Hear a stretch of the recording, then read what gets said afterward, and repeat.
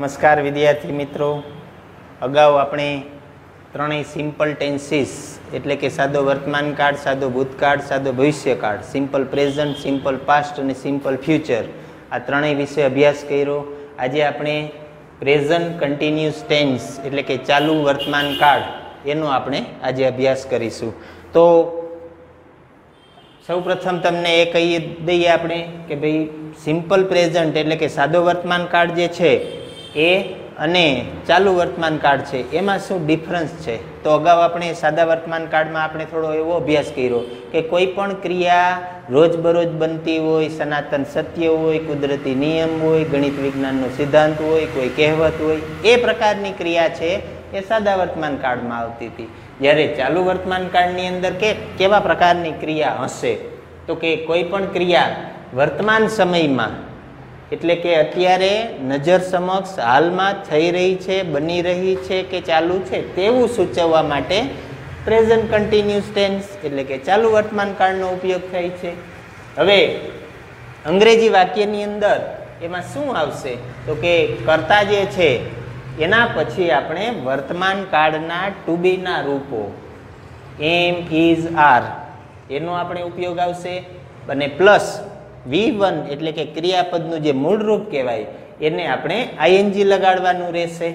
હવે, તમને એવો પ્રશ્ન થશે કે એમ ઇઝ આર છે, તો ક્યાં કરતા સાથે એમ મૂકવું? ક્યાં કરતા સાથે ઇઝ ક્યાં કરતા સાથે આર મૂકવું? તો એનું આપણે આ એક ટેબલ આપણે જે છે, એનો અભ્યાસ કરીશું. એટલે વ્યવસ્થિત તમને ખ્યાલ આવે. તો અહીંયા છે સિંગ્યુલર અહીંયા છે પ્લુરલ સિંગ્યુલર એટલે એક વચન પ્લુરલ એટલે બહુવચન. હવે પ્રથમ પુરુષ ઇંગ્લિશમાં આપણે ફર્સ્ટ પર્સન કહેશું. First person second person third person પ્રથમ પુરુષ, બીજો પુરુષ, ત્રીજો પુરુષ. હવે પ્રથમ પુરુષની આપણે વાત કરીએ તો એમાં આઈ આવે. તો આઈ એમ પ્લેઇંગ ચાલુ વર્તમાન કાળની અંદર વાક્ય રચના એમ ઇઝ આર પ્લસ ક્રિયાપદને આઈએનજી એટલે આઈ સાથે એમ આવશે. આઈ એમ પ્લેઇંગ એટલે કે હું રમી રહ્યો છું. વી આર પ્લેઇંગ અમે રમી રહ્યા છીએ. બીજો પુરુષ. યુ આર પ્લેઇંગ તું રમી રહ્યો છે. કારણ કે યુ એટલે અહીંયા તું, કારણ કે સિંગ્યુલર છે એક વચન છે. યુ આર પ્લેઇંગ એટલે તું રમી રહ્યો છે. યુ આર પ્લેઇંગ સામે પણ યુ જ આવશે, પણ પ્લુરલ એટલે કે બહુવચન છે, એટલે તમે રમી રહ્યા છો. ત્યાર પછી ત્રીજો પુરુષ સિંગ્યુલર એટલે કે ત્રીજો પુરુષ એક વચન તો એમાં શું આવશે? તો કે હી સી ને ઇટ અથવા એક વચનનું નામ આવે, તો હી ઇઝ પ્લેઇંગ તે રમી રહ્યો છે. સી ઇઝ પ્લેઇંગ તેણી રમી રહી છે. ઇટ ઇઝ પ્લેઇંગ તે રમી રહ્યું છે. ઇટ મીન્સ કે નિર્જીવ વસ્તુ, પશુ, પક્ષી, પ્રાણી માટે દાખલા તરીકે ડોગ ઇઝ પ્લેઇંગ કૂતરું રમી રહ્યું છે. એ રીતે. કાવ ઇઝ ગ્રેઝિંગ એક વચનનું નામ છે કે કાવ ઇઝ ગ્રેઝિંગ તો કે ગાય ઘાસ ચરી રહી છે ગ્રેઝ એટલે ચરવું. તો કાવ ઇઝ ગ્રેઝિંગ ગ્રાસ તો ગાય છે, એ ઘાસ ચરી રહી છે, એક વચનનું નામ છે. સામે આ ત્રીજો પુરુષ બહુવચનની આપણે વાત કરીએ તો ધેય છે. ધેય આર પ્લેઇંગ, તેઓ રમી રહ્યા છે.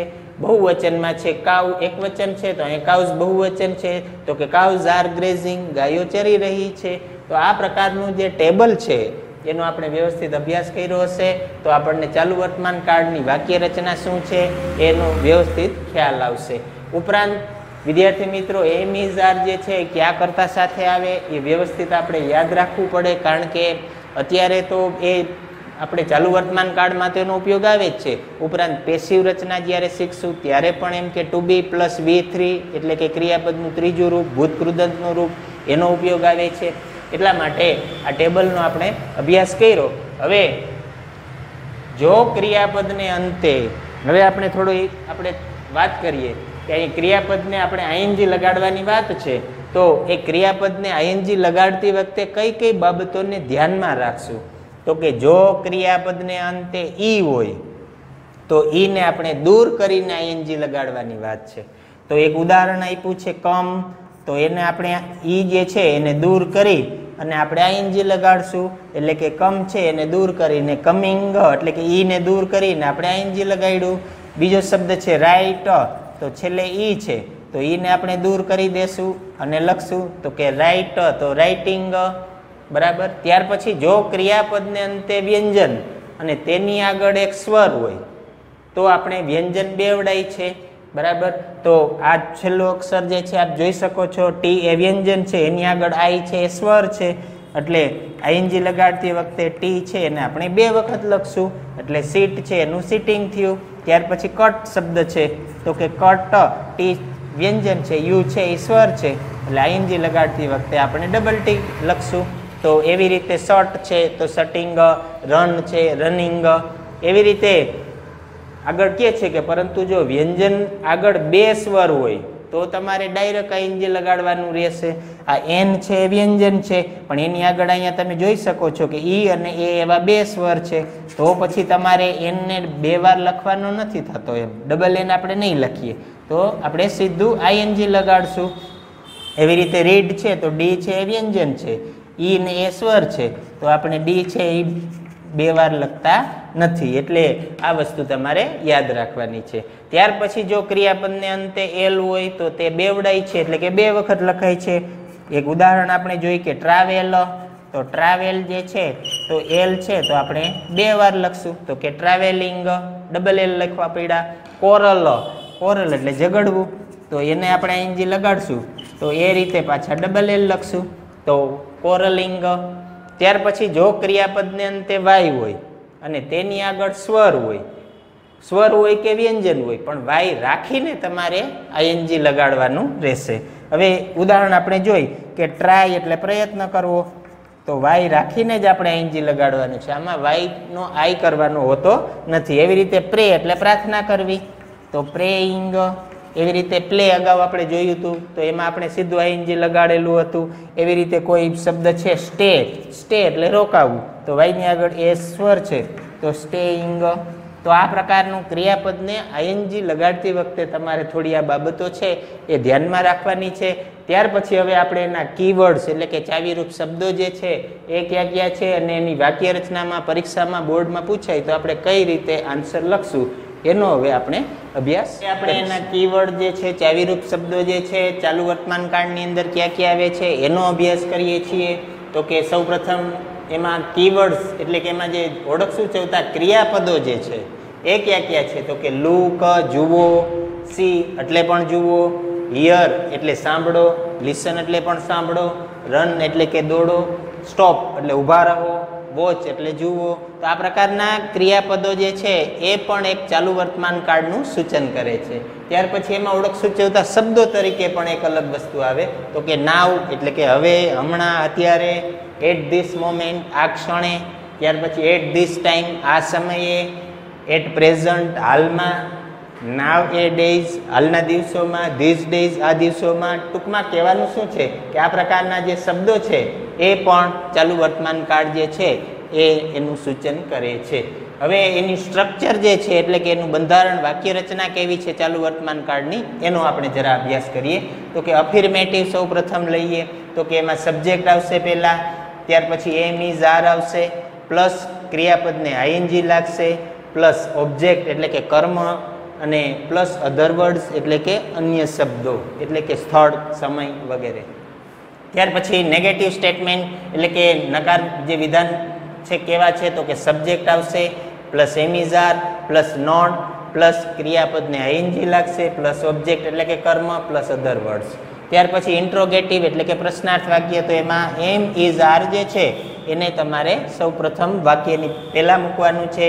પ્લસ સબ્જેક્ટ આવશે કરતા પ્લસ ક્રિયાપદને આઈએનજી પ્લસ કર્મ, plus other words plus question mark અને ત્યાર પછી નકાર પ્રશ્નાર્થ ભેગું પણ હોઈ શકે. દાખલા તરીકે આરન્ટ યુ કમિંગ હિયર શું તમે અહીં અત્યારે આવી રહ્યા નથી? નકાર પ્રશ્નાર્થ ભેગું છે. તો એ પ્રકારનું પણ વાક્ય હોઈ શકે. હવે, ઉદાહરણ દ્વારા આપણે જરા સમજીએ પરીક્ષામાં કઈ રીતે પૂછાય તો તમારે કઈ રીતે ખાલી જગ્યા મૂકવાની હોય છે. પહેલું વાક્ય છે, વિધાન વાક્ય અફિર્મેટિવના આપણે થોડા ઉદાહરણ જોઈએ પહેલાં. કે વી કરતા તરીકે વી છે. વી ખાલી જગ્યા ગ્રામર નાવ હવે અહીંયા નાવ છે એટલે કે અત્યારે એ કીવર્ડ છે ચાલુ વર્તમાન કાળનો. કાઉન્સમાં છે લર ન. તો વી, આર. આપણે વીની સાથે આર મૂકશું શા માટે? તો કે ક્યાંક કરતાં પછી એમ ઇઝ આર મૂકવામાં આવે. પણ કેની સાથે એમ, કેની સાથે ઇઝ કેની સાથે આર આવે, એનો આપણે અગાઉ ટેબલમાં વ્યવસ્થિત અભ્યાસ કર્યો. હવે તમને વિદ્યાર્થી મિત્રો યાદ જ રહી ગયું હશે. તો વીની સાથે પેલા આર મૂકવાનું છે. ત્યાર પછી કાઉન્સનું જે ક્રિયાપદ છે, એને આપણે આઈએનજી લગાડશું. તો લર્ન એટલે શીખવું. તો we are learning grammar now.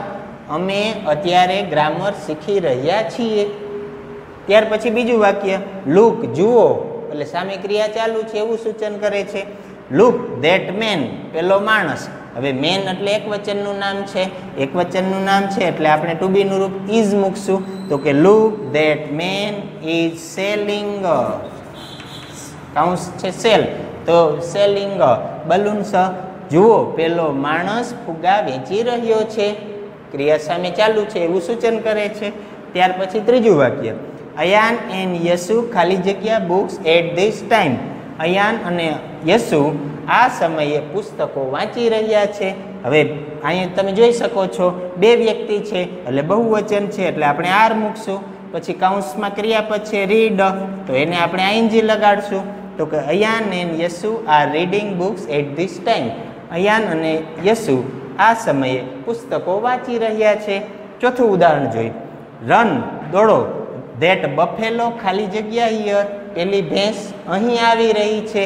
એટલે એક વચનનું નામ છે બફેલો. એટલે આપણે એ જ મૂકશું સૌ પ્રથમ ત્યાર પછી કમ છે. તો કમને આપણે આઈએનજી લગાડશું. આપણે અગાઉ શીખી ગયા કે જો ક્રિયાપદને છેડે ઈ હોય, તો ઈને દૂર કરી અને આઈએનજી પ્રત્યે લગાડવામાં આવે છે. એટલે વાક્ય એમ બનશે કે run that buffalo is coming here. હવે નેગેટિવ વિધાનની આપણે થોડી વાત કરીએ, નકાર વાક્યની, તો એમાં પ્રથમ વાક્ય છે કે આઈ ખાલી જગ્યા, નોટ ખાલી જગ્યાએ મેંગો ધીસ મોમેન્ટ તો આઈ સાથે શું આવશે? તો કે એમ આવશે આઈ એમ નોટ ઇટ છે, તો એને આપણે આઈનજી લગાડશું. I am not eating a mango this moment હું આ ક્ષણે કેરી ખાઈ રહ્યો નથી. પછી બીજું વાક્ય છે, સુનિતા, ખાલી જગ્યા, નોટ, ખાલી જગ્યા, ટીવી નાવ કીવર્ડ છે નાવ અહીંયા કીવર્ડ શું હતો? ધીસ મોમેન્ટ એમ. તો હવે સુનિતા એક વચનનું નામ છે. એટલે આપણે એની સાથે ઇઝ મૂકશું. સુનિતા ઇઝ નોટ હવે કાઉન્સની અંદર આમાં જે છે, એ વોચ છે. તો વોચ જે છે કાઉન્સ તો આપણે is not watching TV now એટલે કે સુનિતા અત્યારે ટીવી જોઈ રહી નથી. ત્યાર પછી ત્રીજું વાક્ય લઈ ધ બર્ડ્સ ખાલી જગ્યા નોટ ખાલી જગ્યા in the sky at this time keyword છે એટ ધીસ ટાઈમ આ સમયે. તો બર્ડ્સ બહુવચન છે, એટલે આપણે અહીં આર મૂકશું. ત્યાર પછી ફ્લાય કાઉન્સમાં છે. તો ફ્લાયને આપણે આઈએનજી લગાડશું. એટલે birds are not flying in the sky at this time પક્ષીઓ આ સમયે આકાશમાં ઉડી રહ્યા નથી. ચોથું એક વાક્ય જોઈ યુ ખાલી જગ્યા નોટ ખાલી જગ્યા મ્યુઝિક નાવ તો યુ આરે શું આવશે? તો કે આર આવશે. પછી નોટ મૂક્યું. લિસન છે, તો એને આપણે આઈએનજી લગાડશું. તો કે you are not listening music now તમે અત્યારે સંગીત સાંભળી રહ્યા નથી. તો આ વાક્ય થયા નકાર. હવે થોડા પ્રશ્નાર્થ વાક્યની આપણે ચર્ચા કરી લઈએ. તો કે પ્રશ્નાર્થ વાક્યની અંદર સૌ પ્રથમ ખાલી જગ્યા હોય તો કરતા મુજબ આપણે સૌ પ્રથમ એમ ઇઝ આર મૂકશું. એટલે યુ છે, એટલે આપણે પહેલાં આર મૂકશું. તો કે આર યુ કાઉન્સમાં છે કુક તો are you cooking sweets at present? શું તમે હાલમાં સ્વીટ્સ બનાવી રહ્યા છો, રાંધી રહ્યા છો, મીન્સ કે બનાવી રહ્યા છો કુકિંગ એટલે? બીજું વાક્ય છે, ખાલી જગ્યા, ધ્યેય ખાલી જગ્યા ઇઝ વર્ક નાવ તો ધ્યેય એક વચનનું નામ છે, એટલે આપણે સૌ પ્રથમ ઇઝ મૂકશું ઇઝ ધ્યેય. હવે ડુ છે, તો એને આપણે આઈનજી લગાડશું, તો કે ઇઝ ધ્યેય ડુઈંગ ઇઝ વર્ક નાવ શું ધ્યેય અત્યારે તેનું કામ કરી રહ્યો છે? ત્રીજું વાક્ય છે, સર, એક વચનનું નામ છે. એટલે આપણે સર સાથે ઇઝ મૂકશું. ઇઝ સર કૌંસમાં છે ટીચ, તો એને આપણે આઈનજી લગાડશું. Is sir teaching you a new topic now. શું અત્યારે સાહેબ છે એ તમને એક નવો ટોપિક શીખવાડી રહ્યા છે? ચોથું વાક્ય, ધ્યેય છે કરતા. તો ધ્યેયની સાથે આર આવશે. આર ધ્યેય. કૌંસમાં છે visit. Visiting I N G લગાડશું. Are they visiting to Goa this days આ દિવસોમાં તેઓ ગોવાની મુલાકાત લઈ રહ્યા છે. તો આજે છે, પ્રશ્નાર્થ વાક્યનો આપણે થોડો અભ્યાસ કર્યો. હવે એક બીજી વસ્તુ, વિદ્યાર્થી મિત્રો, કે આ ચાલુ વર્તમાન કાળની અંદર એક વાઇલનો પણ થોડો ઉપયોગ થાય છે. તો એમાં કઈ રીતે ને કેવી રીતે થાય છે, એનો આપણે જરા જોઈએ અભ્યાસ કરીએ. વાઇલ એટલે જ્યારે એનું ગુજરાતી થશે. હવે એની વાક્ય રચના એવી છે કે, આજ્ઞાર્થ વાક્ય હોય આગળ ત્યાર પછી વાઇલ હોય, ત્યાર પછી ચાલુ વર્તમાન કાળનો ઉપયોગ કરવાનો હોય છે, ખાલી જગ્યા સ્વરૂપે. ઉદાહરણ દ્વારા આપણે જોઈએ કે કીપ લાઇસન્સ વિથ યુ બરાબર?